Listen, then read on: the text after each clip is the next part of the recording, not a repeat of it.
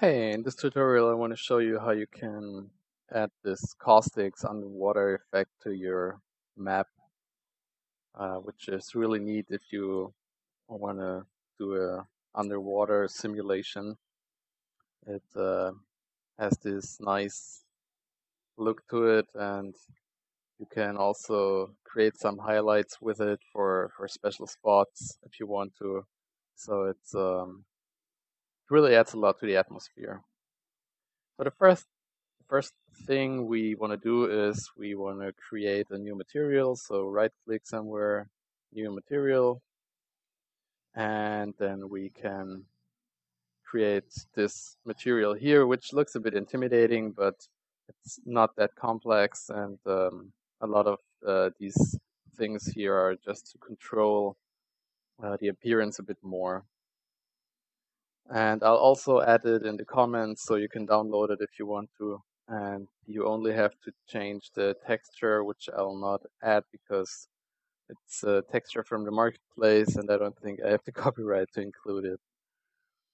So the first thing we want to do is here the texture coordinate. Uh, we want to split it, the U and the V, the UV coordinates into the U and the V part with these masks uh, so we can scale them separately via these parameters here and then append them back, back together as input for our basically our UVs here in the texture samples later.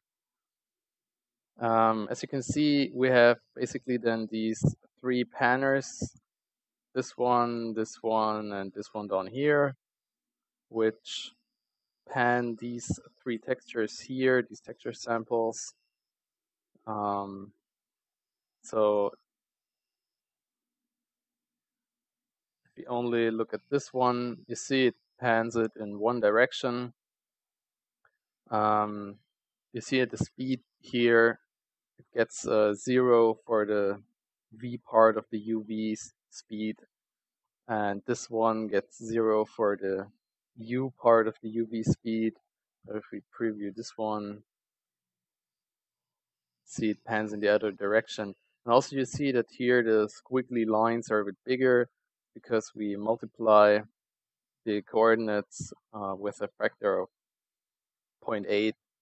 So um, the the two textures don't overlap after they've panned about the same length which would look uh, really odd because then the holes and the lines would overlap.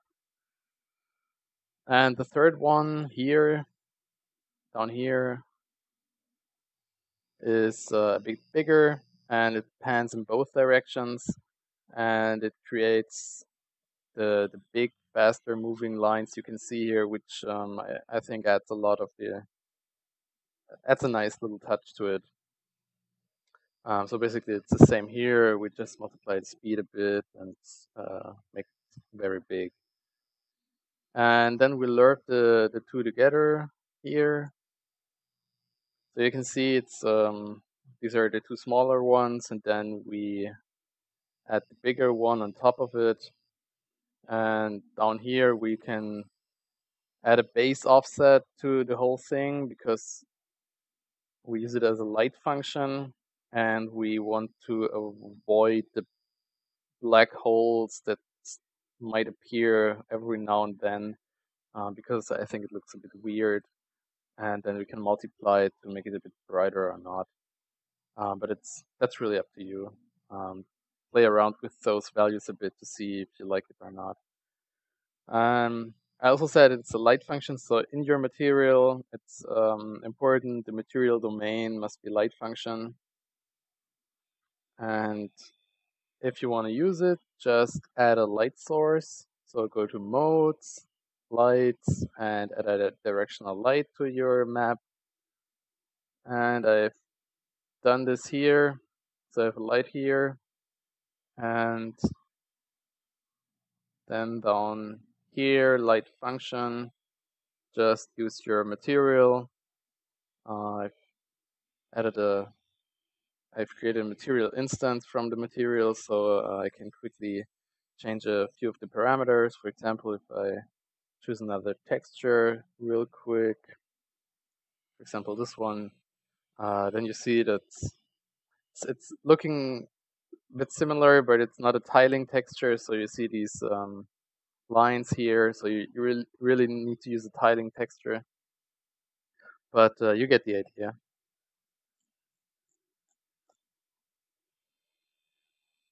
Yeah, and then um, that's basically it. You can then adjust the light a bit. You can make it uh, a bit brighter or darker as as you need it to.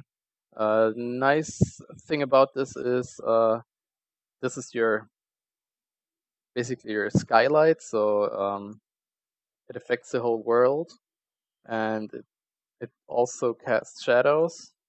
So that's I think that's really nice. So only, you only need one light source, and uh, it creates these this nice caustics effect. And also you can what you can do is you can create, for example, these spotlights to make a bit of an effect uh, underwater. Um, if you want to highlight some special place or something like that, um, you can play around and also add this material to create some nice underwater effect. Okay, that's uh, basically it. Thanks for watching.